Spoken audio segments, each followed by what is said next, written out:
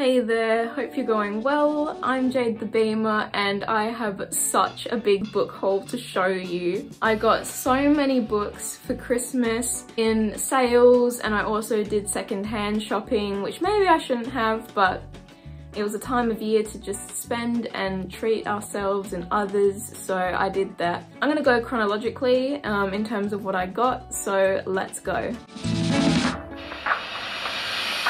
first little haul I did was at a secondhand shop. So I love going secondhand book shopping just because you never know what you're gonna find and there's usually such cool old books or such good deals on books that you know about. The first one I saw is one that I hadn't heard of before but I thought was really cool and that is Top Tips for Life by Kate Reardon. I haven't heard of this one before but I got it because it just seemed like such a cool little book. I like how it's green on the inside and it's pretty much just a book filled with like tips. So what to do on a first date, how to prevent catching the common cold, how to steam vegetables when you don't have a steamer. It just has different sections with just random tips, bits of wisdom, I guess. So there's ones for beauty, cooking, gardening, health, friendships, parenting, weddings, work, Christmas, happiness, stuff like that. So I think it'll just be a really helpful thing if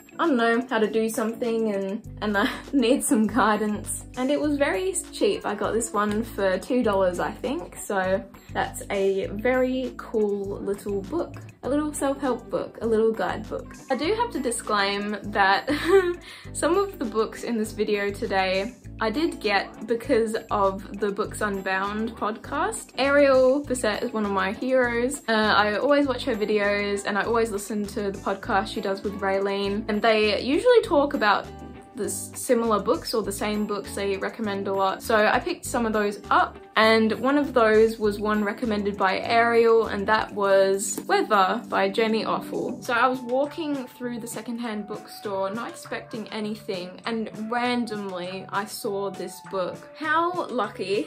So Ariel talks about this one because it's like a cli-fi. It's about weather and fictitious climatic events, I guess. So when I saw this one, I just thought it was so random and rare and I haven't seen it anywhere else. And it was just so cool to find it because I think, isn't this like a Canadian book that you can only get in Canada or something? I think that's so cool. And it's such a beautiful little book as well. Like it's hardcover and blue. I really like the spine of this one with the arrows. And I think it's also told in an interesting format as well. Like it's kind of ellipses and not a very traditional reading experience, I guess. So I'm really happy that I picked this one up. Apparently Jenny Offill was very good. I can't remember what else she wrote though. Maybe some help in the comments. And because it's secondhand, someone's written some notes in here and like highlighted some passages they like so that's interesting. I'm really grateful they did it in pencil so if i don't like it i can erase it. But yeah i'm excited to give this one a go when i want to read a book about the climate and weather. The next one i picked up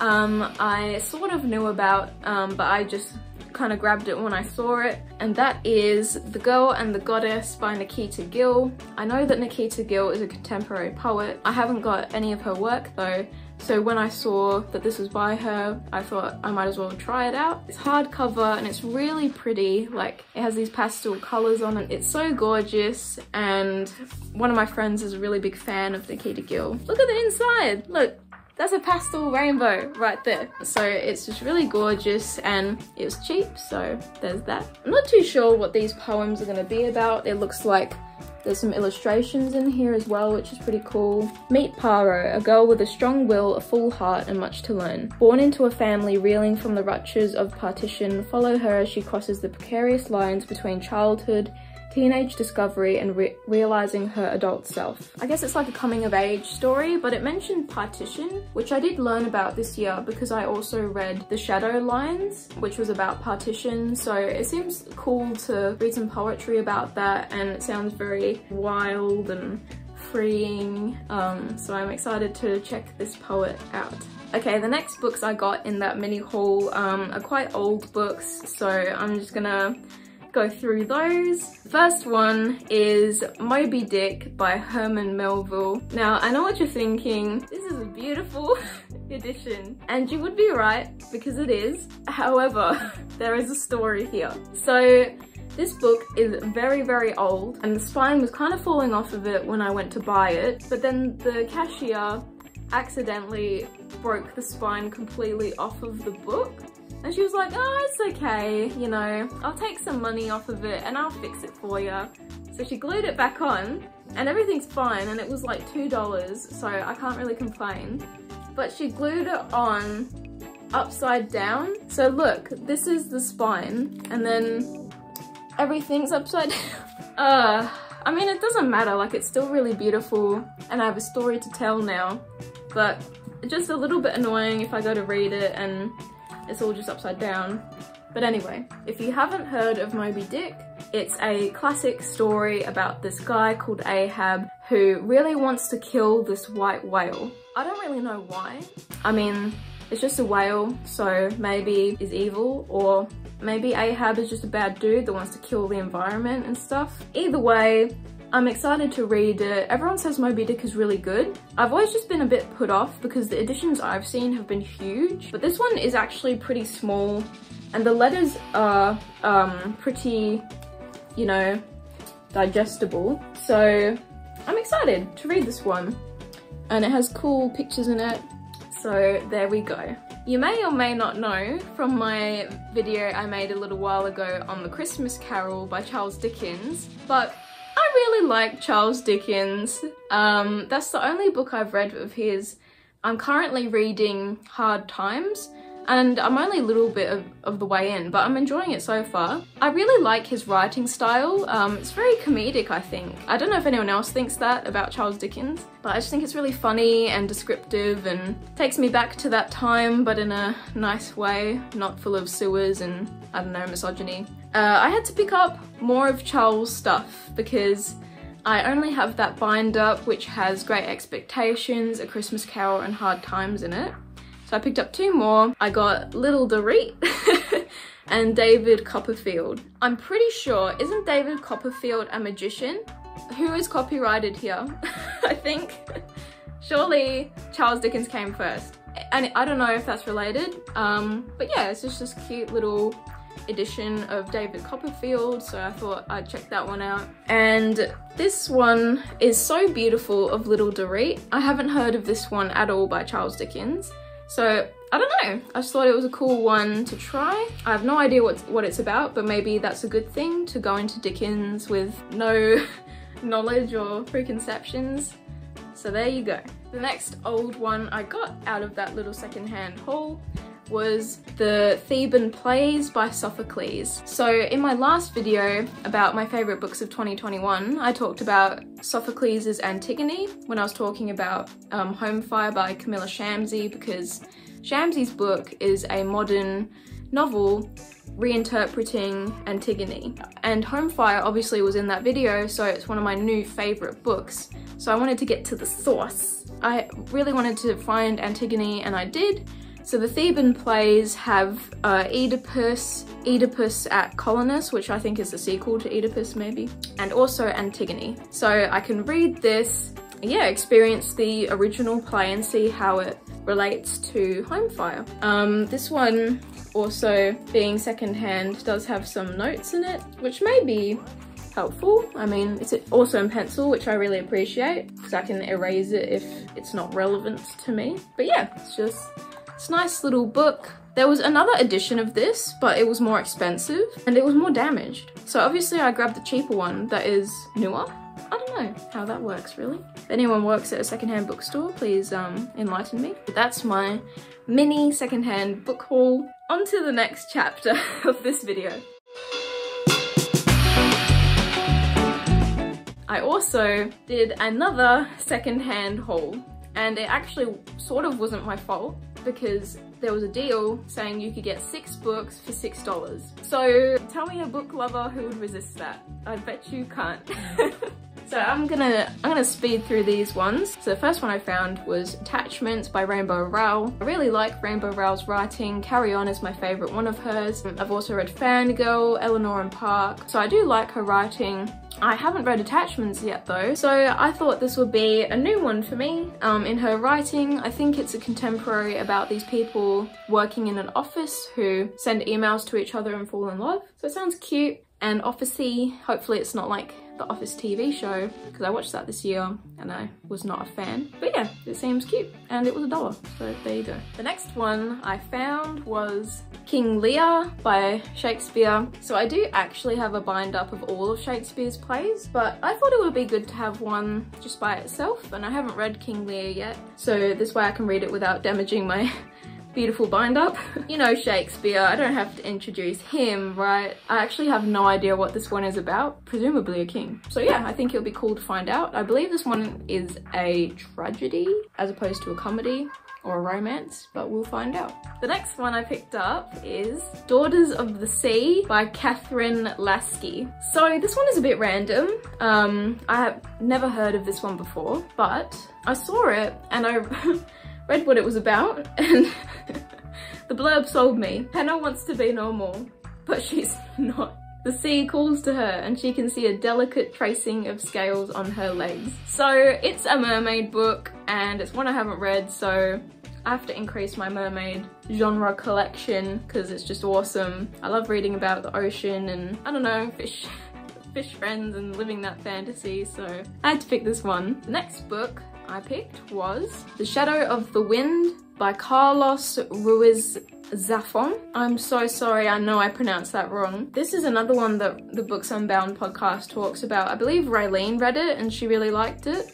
But it's also just a really famous book, like a classic, sort of. So I've heard really good things and it seems like a really important book. So when I saw it, I just thought I would pick it up. Let's see if I can find out what it's about.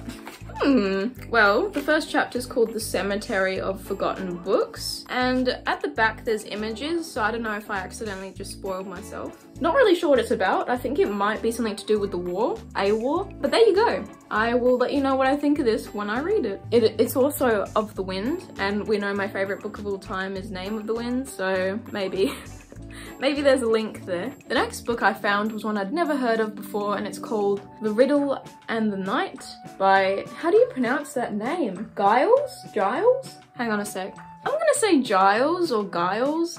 Milton. Um, it was super random, but it's a nice hardback. Let's see what it looks like naked. Very nice.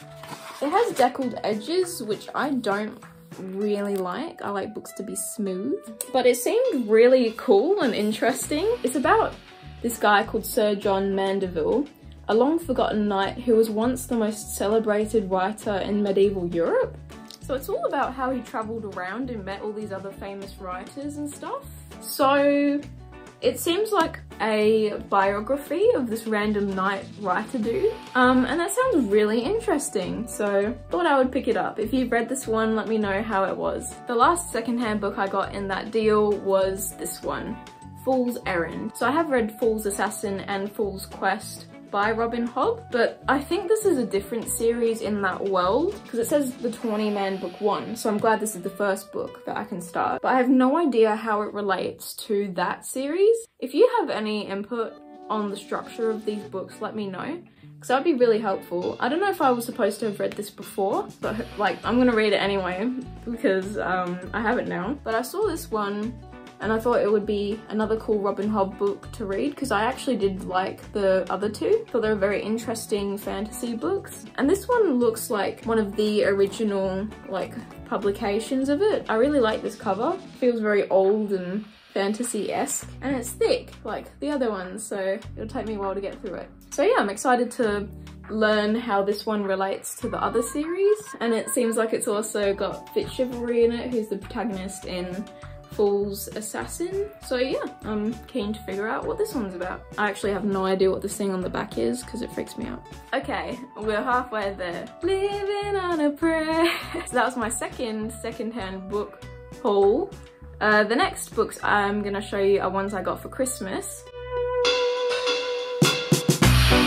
My friend got me this original edition of The Growing Pains of Adrian Mole by Sue Townsend. I've read The Secret Diary of Adrian Mole which is the first book in this series, and this is the second one. And it came out in 1864 or something, in 1984, sorry.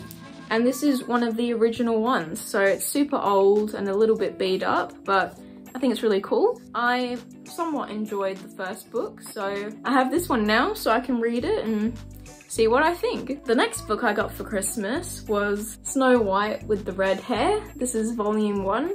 So I rewatched the anime this year because um, it's one of my favorite anime uh, and someone got me the manga. Um, so that is really cool.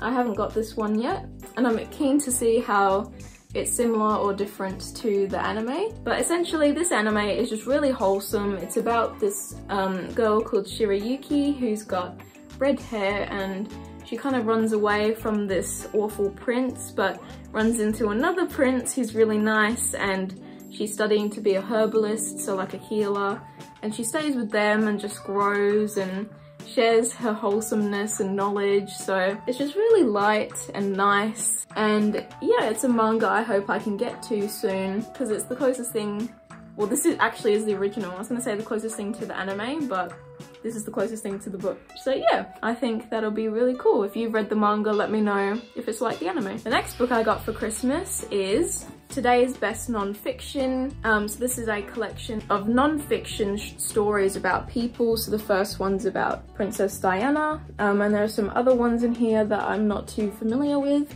And there's Diana on the cover. It's this really nice, like, hardcover edition of a non-fiction book and it's it seems like a cool way to digest it, like short stories about real people. And it's also secondhand, so people know me well I like secondhand books. So yeah, I'm not too sure what to make of this one, but I think it'll be pretty cool to read some non-fiction. Last book I got for Christmas is Moon Phases and You by Cecilia Lattari. So I've always wanted a book about the moon, like a factual one about like the actual craters on it and its history and you know about the moon. But I do have other books about the moon, like there's another one that's like about its phases and like how it influences nature and stuff. This one seems to be more about how it influences like us as people and it seems a bit more spiritual than scientific. Us, is still about the moon and it's really gorgeous so I really appreciate it. Yeah, it seems about like rituals and stuff. It also has lunar phases and plants and stuff. So I think that's really cool. And just, yeah, new ways I can look at the moon and interpret it and learn about it and it also is just a really beautiful book so I hope I can get to this one soon. The last section of this book haul are ones I bought for myself because this year has been crazy and we all deserve some books in our lives and also these were the ones that no one got me for Christmas so I had to get them for myself. The first one I'm showing you is What Once Was Mine by Liz Braswell. This is part of the Twisted Tale series and basically these are parodies um, or like what ifs of the Disney movies. So this is the one about Tangled. What if Rapunzel's mother drank from the wrong flower? So I just think it's really cool to like have that twist on the tale and the movie and see what could have happened. And Tangled's one of my favorite Disney movies, so I wanted to get this one. I also got for myself Part of Your World by Liz Braswell. I was originally only gonna get What Once Was Mine, but I saw this was the collector's edition. I couldn't resist and it was cheap. It's really shiny and it's got like blue edges and it's just a really cool addition. And part of your world, you know, another mermaid book. So there you go. What if Ariel had never defeated Ursula? So I can see what, what would have happened. Ooh, and that's pretty cool. So there you go, I'm keen. I'm keen to try these ones out. The next one I got because one of my friends recommended it to me. She sent me a list of like smutty, steamy romance reads that she liked and um, I came across this one that was on her list, so I got it. The Love Hypothesis by Ali Hazelwood. I've seen a lot of people talking about this. Um, I'm not too sure what it's about, but judging from the cover, it's about like these two lab partners that fall in love. A TikTok sensation, apparently. So yeah, I'm excited to read this one and feel the cute scientific connection between them. I really hope it's cute and dreamy. the next book I got, sort of out of rage. And that's because I've been wanting it since it came out. I was so excited all year for it and I wanted to get it, but people kept telling me, no, it's your birthday soon, so you just have to wait and see. And then after, it was Christmas, so people were like, no, you just have to wait and see. And I saw, and no one got it for me. so I waited for nothing. And that is The Daughter of the Deep by Rick Riordan. It's probably my most anticipated book of this year. So I got it for myself. I still have to read it, but I'm so excited. It's a modern interpretation of 20,000 Leagues Under the Sea by Jules Verne. So I'm really excited for this one. It has a female protagonist and it just seems super cool, another watery book. Yeah, I'm super keen to get to this one, finally. The next book I got was The Midnight Library by Matt Haig. I talked about this in my favourite books of 2021 video. I originally listened to the audiobook of this one, but I loved it so much that when I saw the physical copy, I just had to get it. I'm obviously to reread it and yeah, I just had to have this physical copy. This is about a woman called Nora who goes through a really hard time and basically when she sort of dies, she gets to see the other paths her life could have taken and choose a new path, a new world. And that all happens in this library. It's got really beautiful writing and characters and it's a really interesting concept. So I really love this book and I'm glad I have it. The next book I got was They Both Die at the End by Adam Silvera. I don't have any of Adam Silvera's books. I know he's a famous YA author, but I saw this one and it was a collector's edition of it. So I thought that was really cool. He also wrote More Happy Than Not and History is All You Left Me. So it seems like he's a tragic author. Inside's really cool. I don't know what this one is about. I mean, it's kind of told me in the title, but I assume it's a romance between Matteo and Rufus, the protagonists, um, and it's a tragedy. Keen to try this one out when I want something predictable. The last book of that haul and this entire video is Clara and the Sun by Kazuo Ishiguro. So this year I tried to read Never Let Me Go because that's one of the ones I have to read for my novelog but I just wasn't vibing with it so I DNF'd it for now. Um, but then uh, another Books Unbound recommendation, they, they liked this book and thought it was really cool so I was like, I'll give it another go. If Ariel and Raeleen like it, then surely it has to be okay. Pick this one up. It's also really pretty and it's in, in a nice big format as well. It's very floppy. I like that as well.